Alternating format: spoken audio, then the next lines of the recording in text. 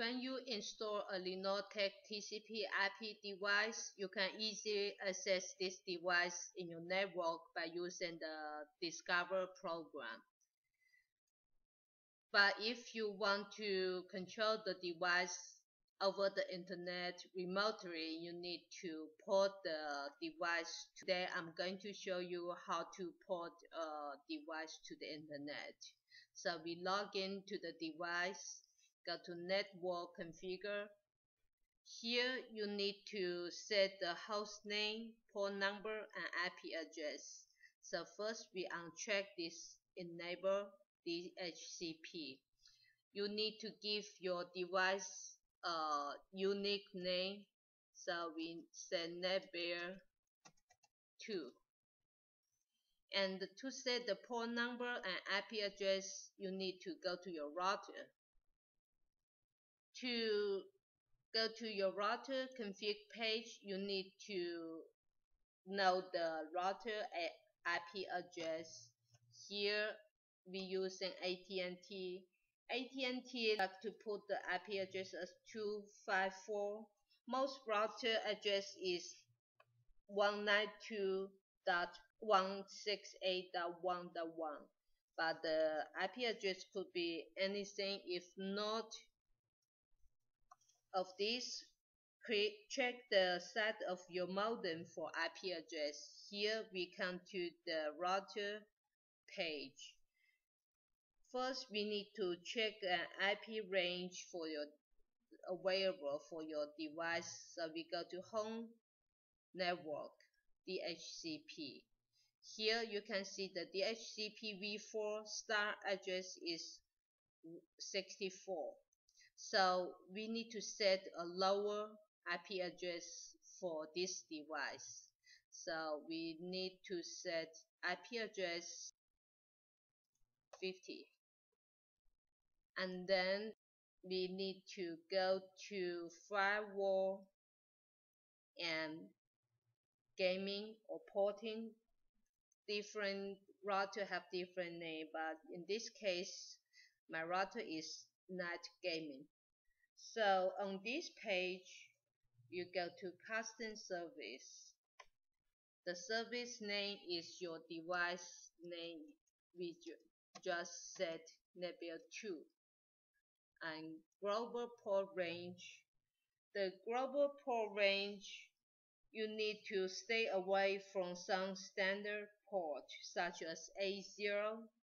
So we try a higher number say like 9100 here is 9100 and base host port is the same set the same. And protocol you have TCP uh, both TCP and UDP so we select both and then we add. So here we have the port number for this device so we copy the, the port number and put it here. So after you set this, the port number, you need to tell the router the device port number. So we go back to the gaming and select from the service NetBell 2. Let's see, find the NetBell 2. Okay, here's NetBell 2. And needed by device is this device server.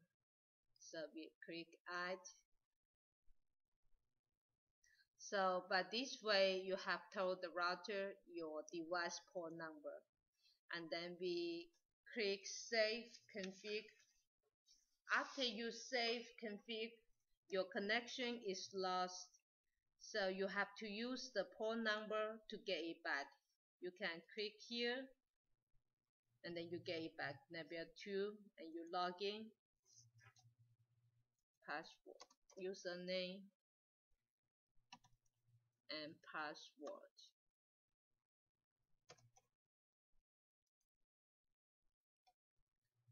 Okay, so we have set the port number if your IP address changes, but most home network have that, dynamic IP address that do change, then you need support of a DY DNS service.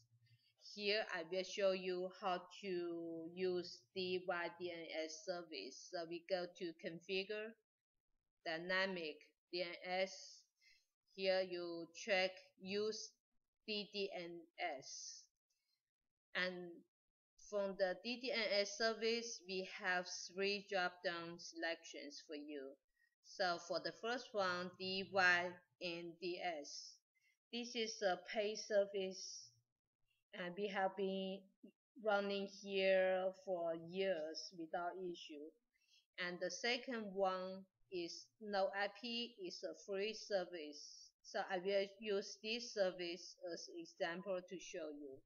So we go to no IP website.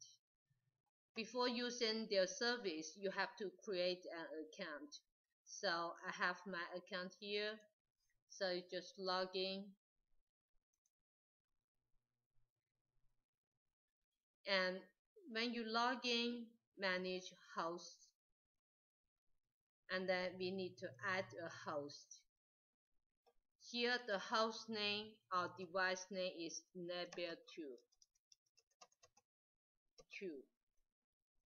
And you don't need to do any change. The IP address is the IP address we just set is um, is here. This is the IP address. So we copy and paste the IP address here and then we add host. Okay the your DDNS IP address you copy this and paste to the dynamic. So we go back here no IP and username we need to type your DD uh, no IP username here and password.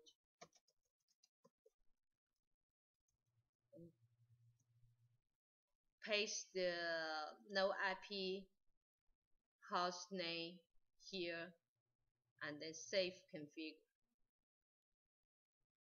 So your setting have been up saved and now we log out to the device and then here you can see you already set the port number. So now you can access this device from anywhere. So copy and paste this IP address here and add the port number.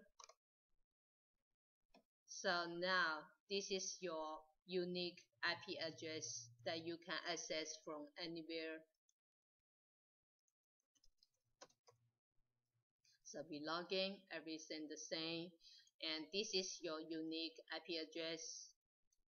Do remember to add the port number so that you can access.